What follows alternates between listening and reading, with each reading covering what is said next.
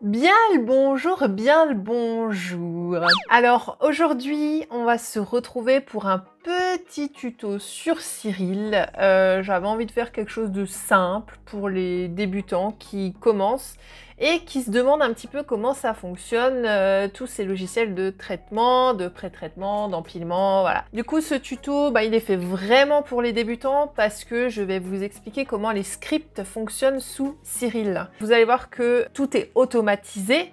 Euh, vous n'avez pas la main sur ce qui se passe, mais on va dire que pour les débutants, je trouve que c'est une bonne alternative. Ça permet de, sortir euh, une jolie photo finale sans s'être arraché les cheveux euh, avec le logiciel en amont. je vous ferai une vidéo plus tard pour les gens qui sont un peu plus expérimentés en le faisant en manuel, en, en vous montrant un petit peu comment le drizzle fonctionne pour gagner en résolution. Euh, voilà, il y a plein de petites choses sympas à faire avec Cyril. Donc là, euh, je vais vous montrer déjà comment ça se passe tout simplement pour faire un script automatique dans Cyril. Alors, on va regarder ça tout de suite dans le logiciel avec Cyril. Alors déjà, ce que je vais vous expliquer, ce qu'il va falloir faire en premier, euh, en premier lieu, euh, ça va être euh, dans votre dossier image, par exemple, hein, de, votre, de, votre, de votre ordinateur, vous allez créer un euh, dossier qui s'appelle répertoire Cyril. Et dans ce dossier répertoire Cyril, vous allez créer quatre dossiers. Un dossier qui s'appelle brut, un dossier qui s'appelle dark, un dossier qui s'appelle offset et un dossier qui s'appelle flat. Il faut absolument que ces quatre dossiers, que ces quatre dossiers soient euh, écrits de la même manière que ce qui est écrit euh, là. Euh, brut avec un S, dark avec un S, offset avec un S, flat avec un S. Parce qu'en fait, vous allez voir que les scripts, ils vont avoir besoin de ces noms de fichiers qui soient correctement écrits. Si vous ne les avez pas correctement écrits, ça ne va pas fonctionner. Donc, vous commencez par créer ces quatre petits dossiers qui soient bien écrits, bien machin. Une fois que ça c'est fait, eh ben, vous allez euh, dans vos dossiers tout simplement mettre les images qui correspondent. Dans les bruts, ben, vous allez mettre vos lights. Dans les darks, ben, vous, allez vous allez mettre euh, vos darks, et, etc. Euh, etc. D'accord? Pas se planter entre les darks et les offsets, d'accord? Vous les rangez correctement dans vos dossiers. Et une fois que le dossier est fait, vous passez sous Cyril. Euh, donc il faut avoir téléchargé Cyril avant, bien sûr. Je vous mettrai le lien en description. Hein. Euh, veillez à avoir la dernière version, hein, pas comme moi, je ne l'ai pas encore téléchargé. La dernière, ça c'est encore l'avant-dernière version. Une fois que vous êtes dans Cyril, dans l'interface de Cyril, vous allez cliquer sur la petite maison là-haut, la petite maison bleue. Vous cliquez dessus et alors bon, moi c'est déjà le bon, dossier de, travail qui est, qui est, mis. En fait, euh, ce petit icône avec la maison bleue, euh, c'est euh, là où vous allez définir votre répertoire de travail pour Cyril. C'est là où le logiciel va chercher les dossiers avec les bonnes images. Donc il faut choisir, il faut mettre le chemin du dossier que vous venez de créer. Donc vous allez dans vos images, hein, picture, vous allez dans répertoire Cyril, vous voyez bien qu'il y a brut, dark, flat et offset et vous faites ouvrir. Et vous voyez là-haut, du coup, sous le nom Cyril, que euh, le dossier, le bon dossier est bien sélectionné. Une fois que ça c'est fait, et eh ben tout bêtement, vous allez dans Script ici. Alors, euh, quand vous euh, installez Cyril, vous avez que, il me semble, les quatre premiers ou les trois premiers ici. Non, je crois que c'est que les trois premiers. Mais euh, quand vous tapez sur Google Script Cyril, euh, vous avez toute une autre flopée de scripts qui existent. Je vous mettrai le lien aussi en description euh, où est-ce que vous pouvez télécharger ces scripts-là. Donc vous allez tout bêtement cliquer sur couleur pré-traitement. il vous met toujours un petit message, veuillez lire avant d'utiliser les scripts. et il vous prévient que c'est toujours mieux de faire en manuel. Bon, là maintenant je vous ai expliqué pour le tuto, on va faire avec les scripts. Euh, honnêtement, ça fonctionne très bien. Hein, voilà. Après, mais c'est vrai que le manuel, c'est mieux. Voilà, c'est mieux. Vous avez plus de choix, vous avez plus de souplesse. Bref, là, on est sur de l'automatique. Donc, vous faites exécuter le script et paf Et là, Cyril va commencer à travailler tout seul en fonction du script que vous avez choisi. Voilà, donc là, euh, le script a euh, fini de faire son boulot. Euh, si on regarde un petit peu en détail, on peut voir un petit peu ce qui s'est passé. donc, le script a mis 6 minutes 20 au total. Temps d'exécution total, 6 minutes 20. Euh, on peut également voir au niveau de l'alignement, voilà ici, euh, combien euh, d'images ont été en échec pour l'alignement sur les étoiles. Ça, en fait, il est possible hein, que si vous avez un mauvais suivi, une, mauvaise mise en station, que beaucoup d'images soient rejetées parce que au niveau de la PSF dynamique des étoiles, ça ne colle pas pour l'alignement avec Cyril. Du coup, il jette toutes les images qui posent problème. une fois que ça c'est fait, euh, il faut ouvrir votre image. Alors là, euh, moi, elle est déjà ouverte parce que j'ai fait une petite manip euh, avant de reprendre le tuto, mais elle n'est pas ouverte. Hein. En temps normal, quand le script finit, c'est fini, il ne vous ouvre pas automatiquement l'image. Donc, vous, cliquez sur Ouvrir là-haut et vous sélectionnez, vous double-cliquez ici sur le, le, fichier Fit Résultat. D'accord? Vous double-cliquez, hop, donc là, il vous l'ouvre. Et ici, vous vérifiez bien, là, au niveau du, de la barre, ici, euh, que le curseur, il soit tout au bout. Voilà. Vous passez ensuite en mode histogramme. Talin C'était sur le triplé du lion. Première chose à faire sur cette image. Hop là, je tape le micro. Coupe, Tommy. Ça va, vous m'entendez? Première chose à faire sur cette image, c'est recadrer. Toujours recadrer euh, quand vous avez des décalages comme ça, parce que sinon après ça pose des soucis euh, au niveau de Cyril.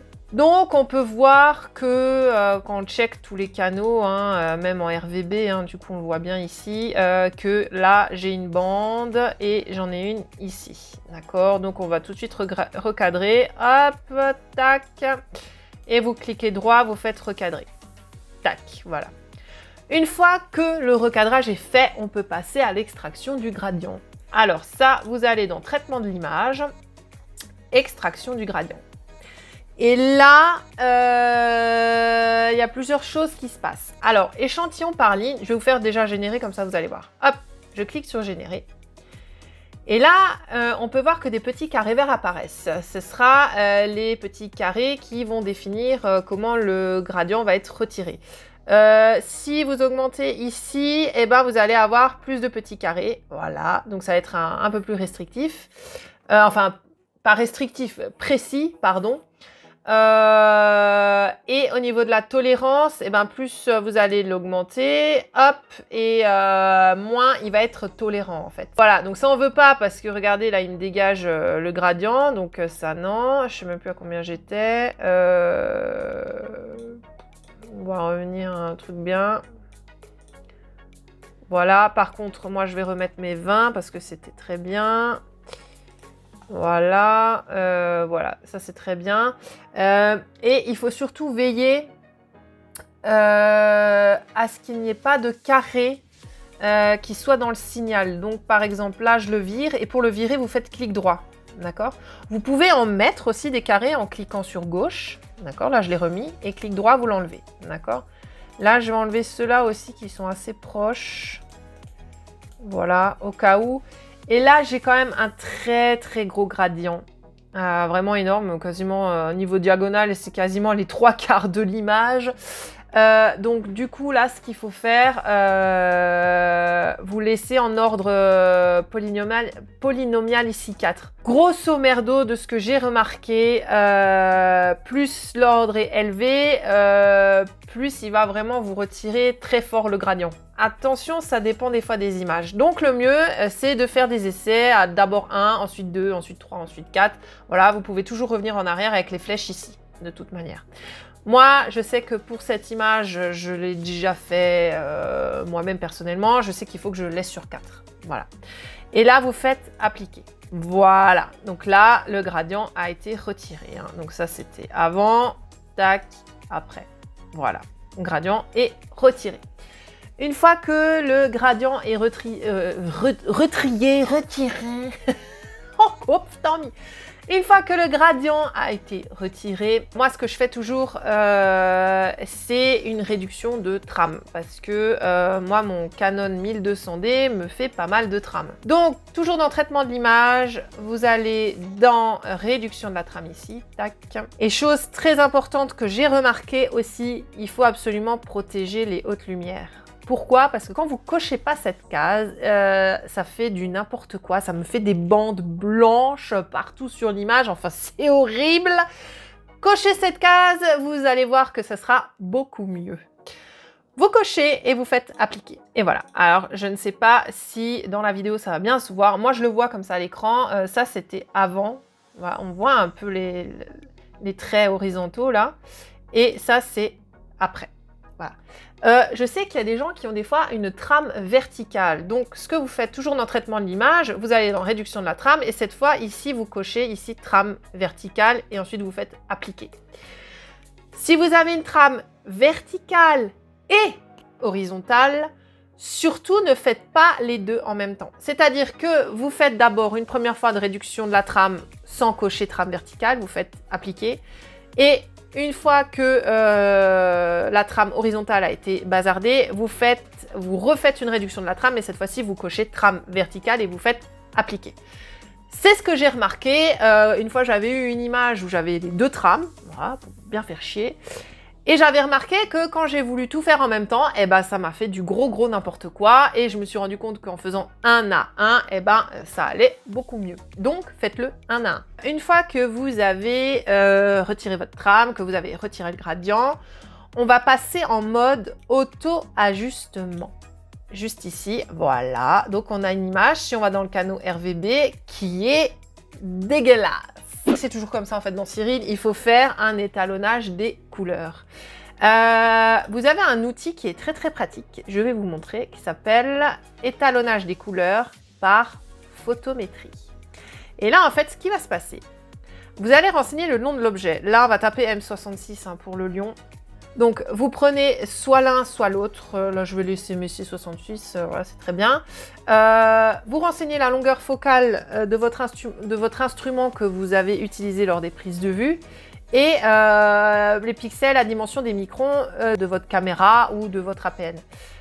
si vous ne connaissez pas, vous faites obtenir métadonnées de l'image ici et il va vous les trouver automatiquement.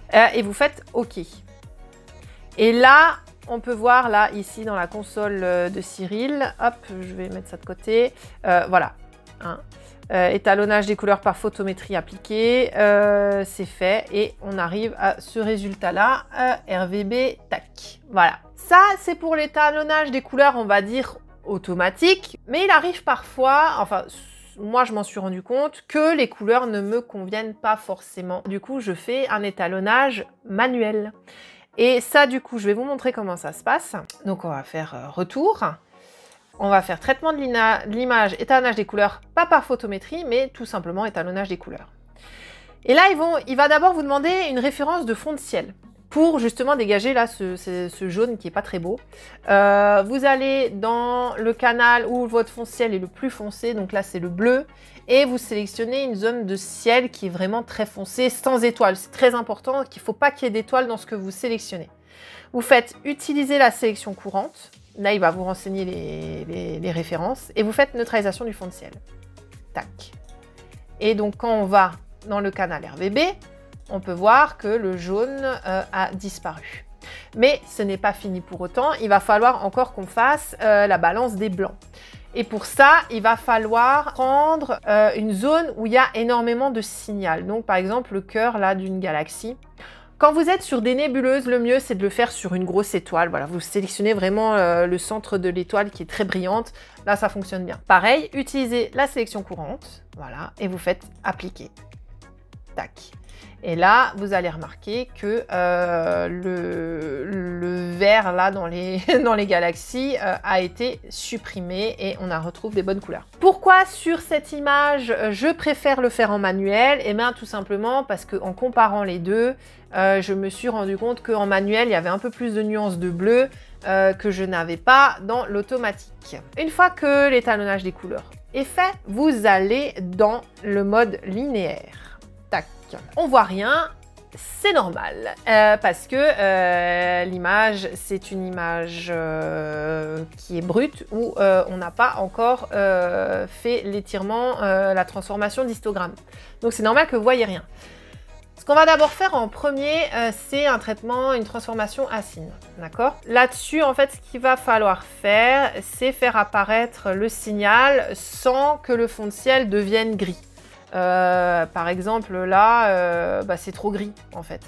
Le but, c'est d'avoir le signal des galaxies en ayant encore un fond de ciel qui soit à peu près noir. Quoi. Euh... Ouais. Ouais, je vais pas faire plus parce que ça commence à s'éclaircir. On voit là les trois galaxies à peu près et le fond de ciel est encore noir. Faites appliquer. Voilà, une fois que ça c'est fait, vous allez ici dans l'icône là, avec les courbes, vous cliquez. Et là, on va transformer l'histogramme. Alors, si vous n'avez pas envie de vous embêter, vous cliquez sur la roue ici. C'est le truc automatique. Tac. Et là, euh, Cyril euh, vous fait l'ajustement automatique de l'image. Euh, la transformation, pardon, de l'histogramme automatique de l'image. Et si vous avez envie de vous emmerder, je vous redirige, j'en avais déjà parlé dans une autre vidéo, je vous redirige vers le tuto de Smoky qui est très bien fait sur la transformation des histogrammes sous Cyril. Je vais vous le faire en rapide. En gros, lui, ce qu'il fait, ben, il clique sur la petite roue, hein, comme ici. il coupe les noirs, tac, il ramène le signal au milieu, à peu près. Hein. Hop. Euh, il fait une application et ensuite on va gratter euh, jusqu'à quand on commence à perdre du signal. Donc là, vous voyez, on, commence à perdre du signal, donc c'est pas bon. Donc on revient en arrière, hop, jusqu'à quand on commence à perdre? Il faut que ce soit à 0%. Voilà. Et donc là, on est bon. On fait appliquer. Une fois que ça c'est fait, vous reprenez de nouveau le, curseur là des tons moyens et vous l'augmentez pour euh, regagner euh, du signal. Voilà. Alors soit vous restez sur la première, euh, je trouve ça un peu sombre, ou alors maximum la deuxième, mais là c'est trop clair. on va se mettre au milieu. Voilà, c'est pas mal. Et vous faites une fois que l'étirement est fait, que l'image vous plaît, on peut ensuite passer sous Photoshop et ça, ce sera euh, pour la partie numéro 2. Voilà, donc si vous avez aimé la vidéo, euh, je vous invite surtout à la partager. Euh, donc n'hésitez pas à mettre un petit pouce bleu, voilà, ça me permet de me soutenir. Et de commenter aussi, hein, ça c'est pour l'algorithme. on perd pas le nord. Hein. N'hésitez pas aussi à me rejoindre sur mes différents réseaux sociaux, hein, comme d'habitude. Euh. Bon bah écoutez, c'est terminé pour aujourd'hui. Je vous dis à la prochaine. Portez-vous bien et je vous souhaite un bon ciel à tous. Salut les Kinder